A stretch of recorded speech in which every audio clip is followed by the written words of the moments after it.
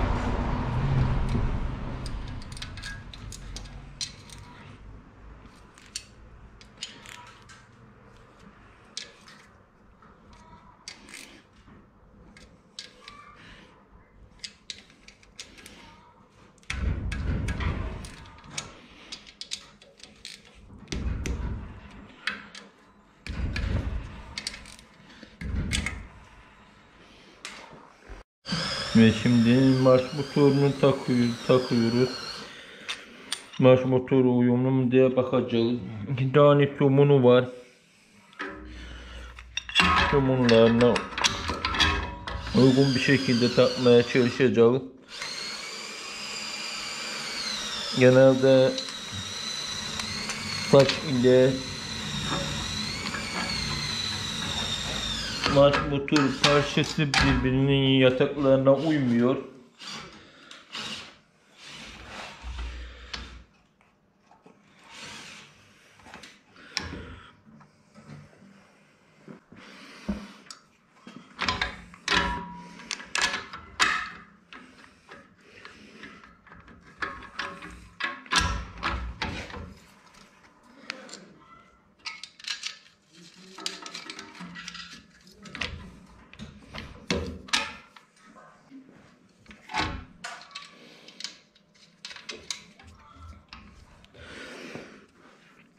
Bu ara parça, alüminyum ara parça dinamonun dişliğe oranını ayarlıyor. Ona da maş dinamo flanş deniliyor.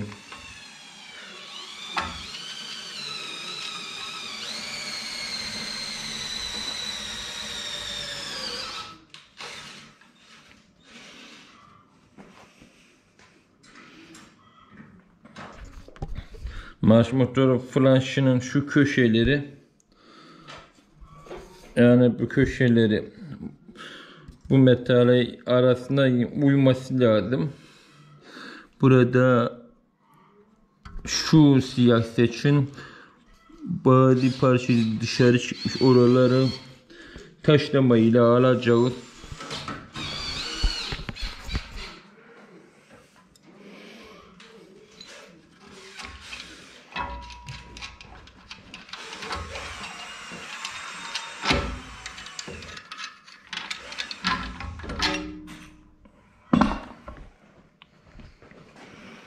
İşte bununla alacağız.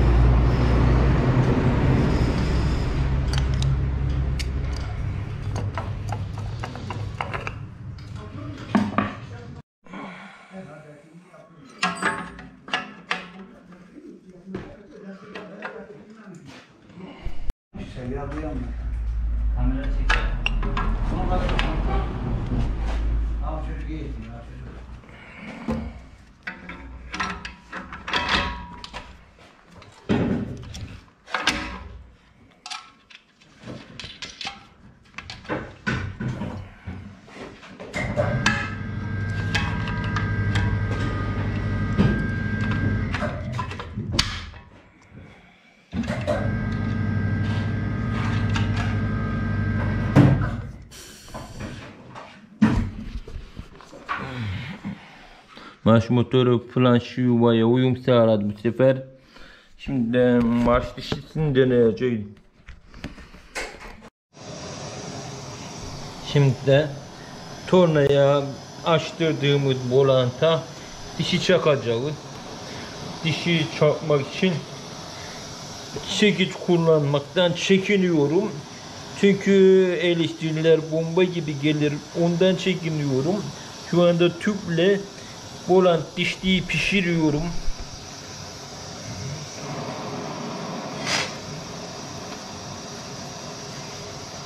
Ayrıca çaysız da olmuyor. İçenlere afiyet olsun.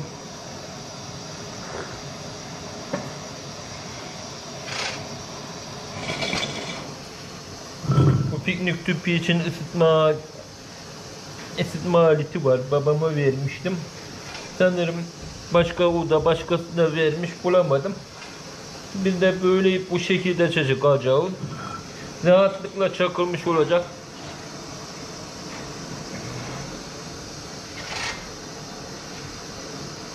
Eskiden daha önce 15 yıl önceye kadar öncesi traktörlerin volant dişleri sıyırıyordu. Bir taraf bozuyordu.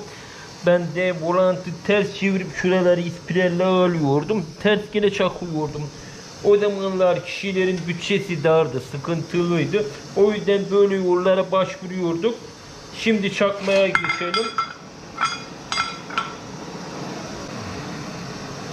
Bu dişli ısındıkça genleşiyor, yani büyüyor. O durumda bunu ısıtmayacaksınız. Eğer ısıtırsanız ikisi genleştiği için çakması yine güçlük olur.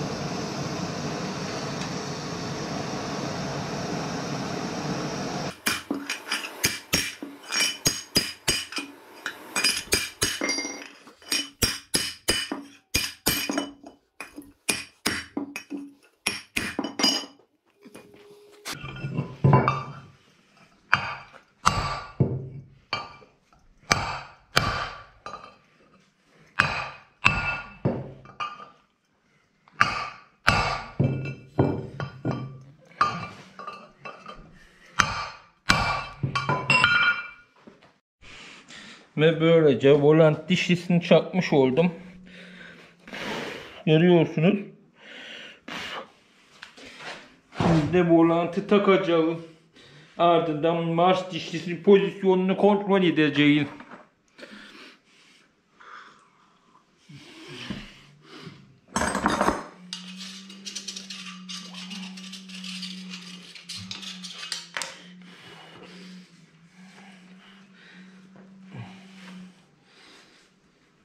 Daha önce ha, pazar günü şaft yapmıştım. Hani kırıktı ya. Şaftın şey priz direk kısmında kırılmıştı. Onu kaynattım. Aynı o kanalda o pat patın sahibinin yorumu var. Gayet güzel olduğunu, sağlam olduğunu ve dengesinin de balansının da güzel olduğunu söyledi. Ben bu şekilde iş yaptığım işlerin takipçisiyim. O yüzden olur mu olmaz mı olmayacak şeylerle uğraşmam ama öyle olacak şeylerle uğraştığım için o da oldu işte. Adam hem pazar günü hem tornaya falan gitse 3 saatlik vakti alması lazım. Yol gitmesi lazım. Bunlara kimsenin vakti yok. Yani her kaynak tutma diyenler var. O kaynağı yapan ustaysa tutar. Usta değilse tabii ki tutmaz. O ayrı bir şey. Ben yıllardır kaynak yapıyorum. Acemi değilim. Şimdi volantı takalım.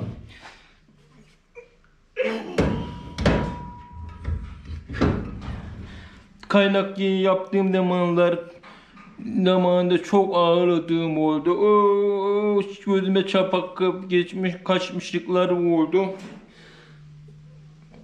Yani tehlikeli kaynaklarda yaptım.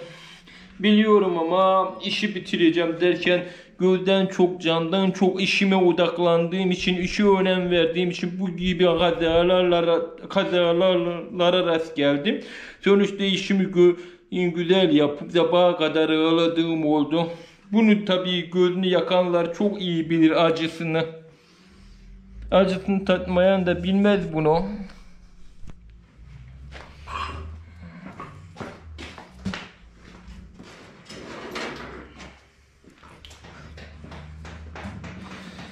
Şimdi marş dişlisi pozisyonuna bakıyoruz. Marş dişlisi pozisyonu gayet güzel oldu.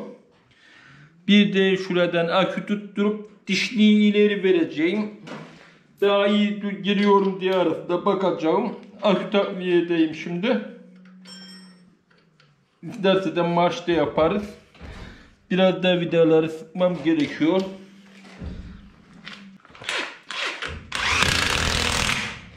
Burası tamam. Şimdi vidaları da sıkalım. Her şeyin yeri dağınık.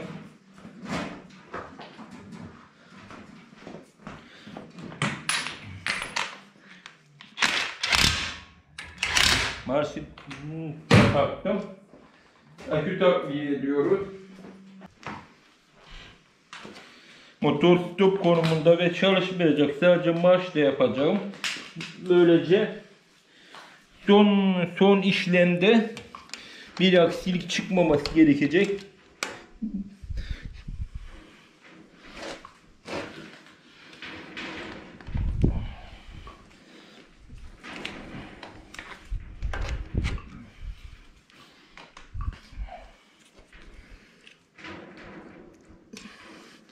Şimdi önce otomatiği çalıştırayım. Dişlinin arasına nasıl bakıyoruz.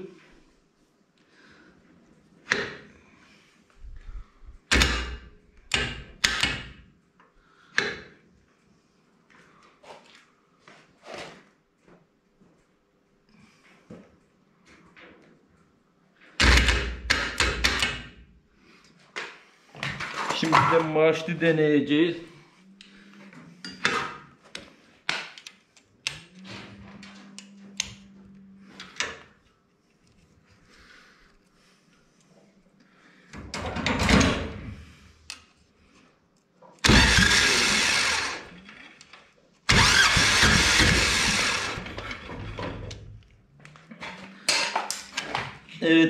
Dişli testi gayet güzel geçti. Şimdi de buradaki somunları kaynatacağım. Maşlamasını sökünce bunları artık oynatmanıza gerek kalmayacak.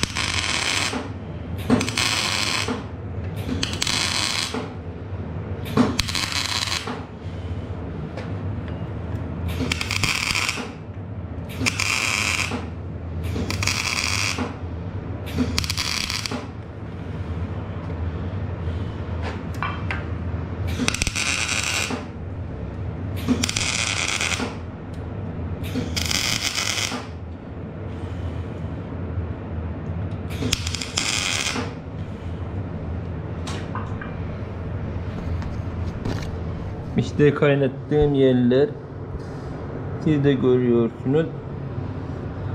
Yakından bakınca iyi.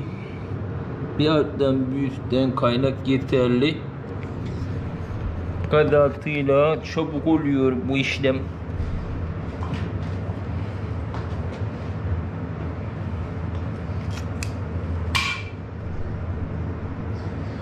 Bu kaynaklarında şepçelerde, bekolu değerlerde direksiyon boruları var.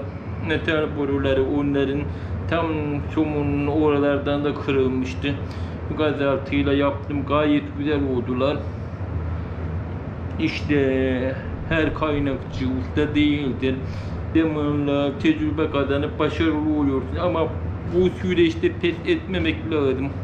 Çabalamak gerekiyor. Böylece başarırsınız.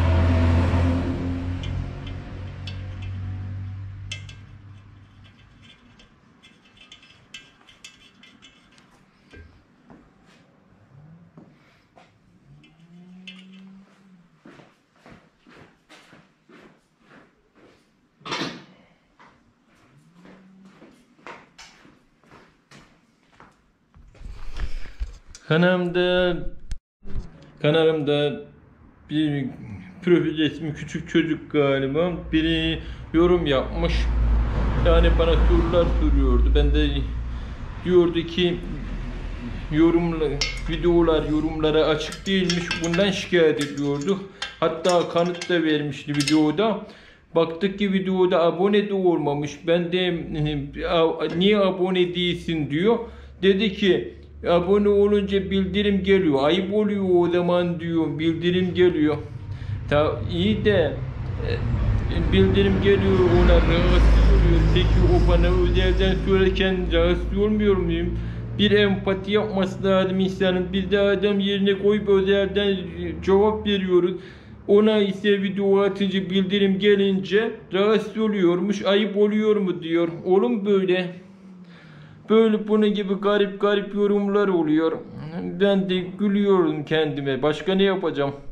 Sonra da son ertesi günde yorumlar yapmış. Şöyle şöyle videolar atar mısın? Videolar gelecek mi?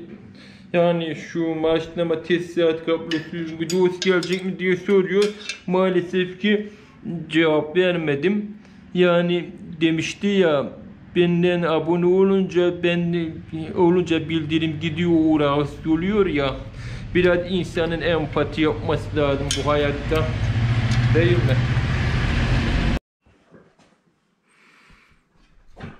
Eski parçalarda marş yeri olmadığı için bu saçları değiştiriyoruz. Bunu değiştiriyoruz. Yenilerinde buradan marş için yuvası oluyor şu kısımda. Yuvarlak olacak. İşte bunda bunda bulunuyor. Buradaki markayı ise alıp bu kapağın diğer tarafına montaj edeceğiz buraya. Eski Lombardini motorlardan bu.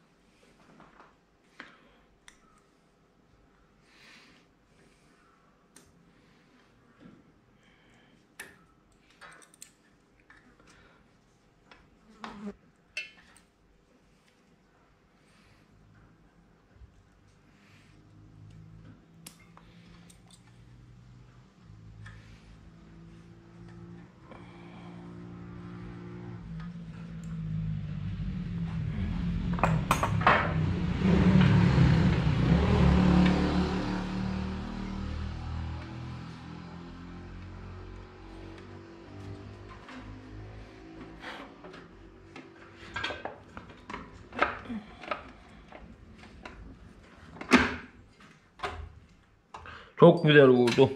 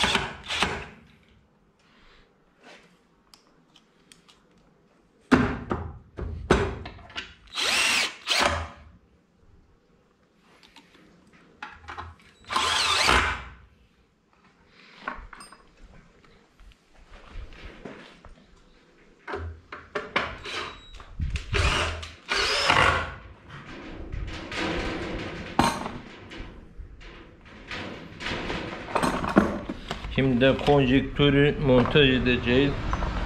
Konjektörü bu şekilde takacağım. Daha arada boşluk olacak şekilde cıvata alarak somun koyuyoruz.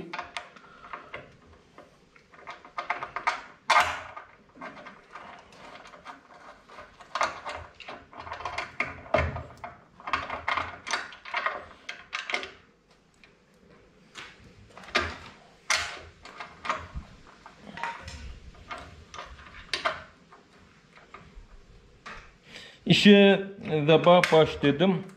Yoğunluktan dolayı ara verdim. İlk başlayınca maç motorunun yatağını taşlamıştım. Şu anda saat saat kaçta? Şu anda saat 2 olmuş. 2 7 geçiyor. Hala daha bu kadarcık yapmışım. Yani yoğun iş geliyorum. O diğer gelen işlere bakmak zorunda kalıyoruz. Kısa işlere pat pat balata değiştirmiştik. Mafsal değiştirdik. Pat pat mafsal. Sürekli değiştiriyoruz bu işleri. Fındıkların daha toplanmasıyla erkek patpatlarının yap yaptıramadıkları bakımları şimdiden yaptırıyorlar. Lastiklerini yeniliyorlar. Lastik de yeniledik bugün. Ardından kesim motorlar da geliyor. İşte hayat böyle akıp gidiyor. Ve konjektörde montaj ettik. Bir daha uzun olursa içeriden volana sürtünür. O yüzden kontrol ediyorum. Çarpıyor mu diye. Şimdi sıra geldi tesisat kablosuna. Tesisat kablosu ismi neydi? Bunun Karden galiba. Karden miydi? Karden marka. Aynı tesisat kabloyu alanlar benim yaptığım gibi yapabilirler.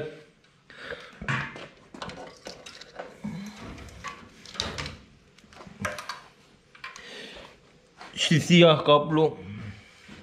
Bunu deponun arkasındaki vidaya şasiye sabitlersiniz. İşte siyah kabloyu. Şimdi depoyu bir takayım. Onu bilen var zaten. Durdurayım burada. Vakit geç. Tam ortasında. Buraya kablo takarken kablonun geçeceği yer yok. Buralara bir yere takın. Eğer buraya takarsanız kafa döndüğü zaman kabloyu çekip fişlerin kopmasına sebep olur. O yüzden orta kısmına delinir. Kablo oynamaz.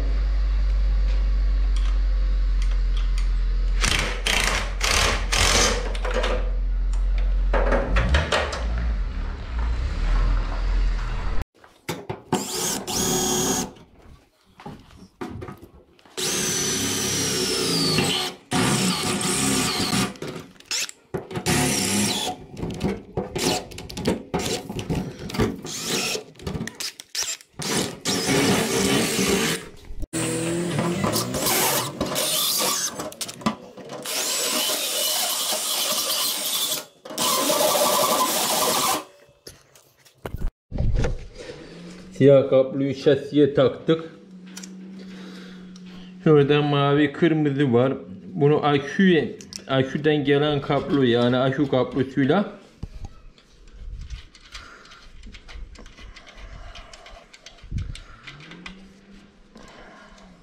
akü kablosu daha hazırlayacağız. Çünkü bunda akü kablosu vs hiçbir şey yok.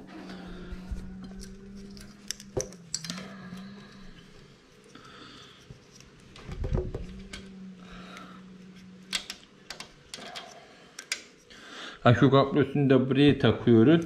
Mavi bakın mavi. Marşı mavi basar mavi.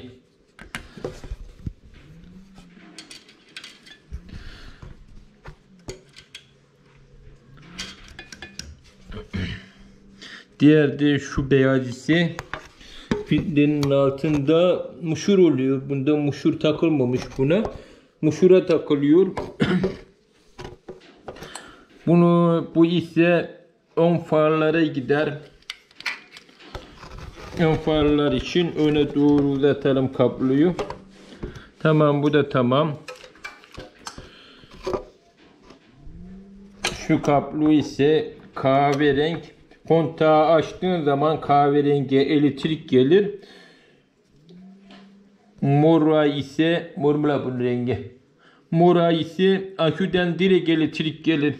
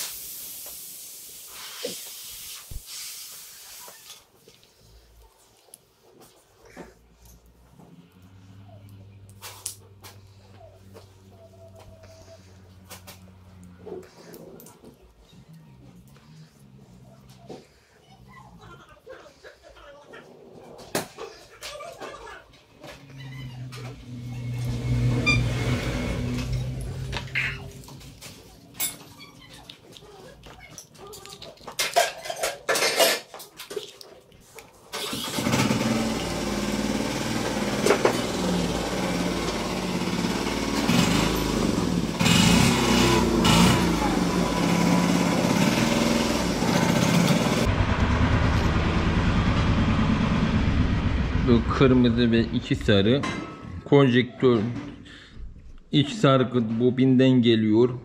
Yani alternatör de deniliyor. Bunların ikisini bu şekilde takıyorsunuz. İşte buraya takıyorsunuz.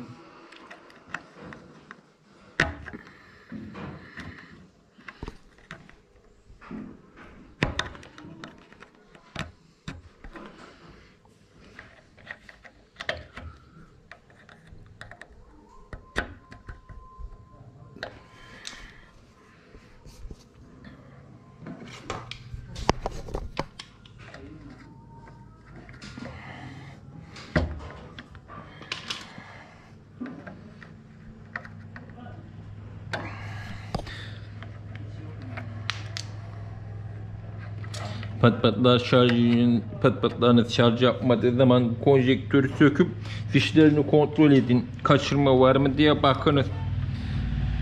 Bu fişleri değiştirdiğiniz zaman düzelebiliyor.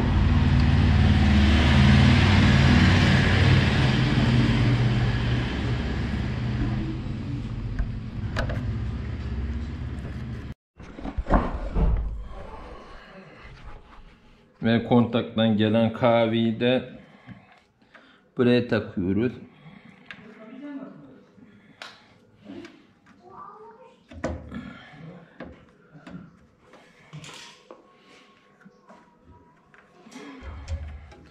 Böylece konjektördeki işlemi tamamladık.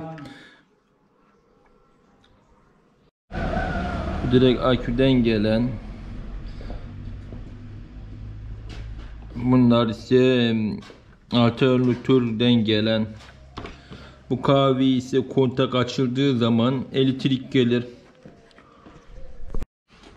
Diğer sarı bu yağmuşur beyaz kablo sarı kablo ise kornadır.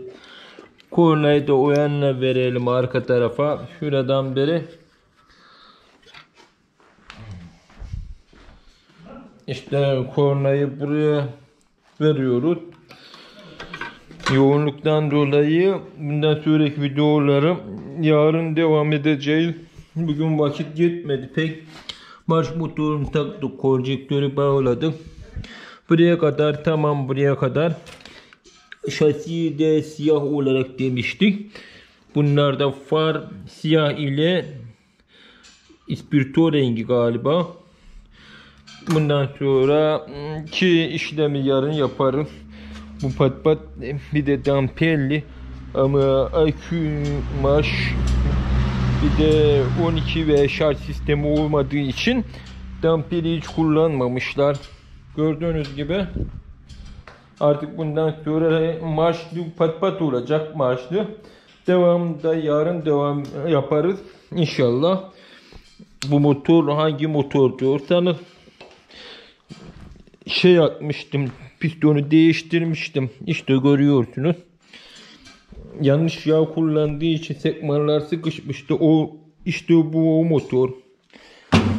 Bundan sonraki videolarda takipte kalın. Kanalıma abone olmayı unutmayın. İzlediğiniz için teşekkür ederim.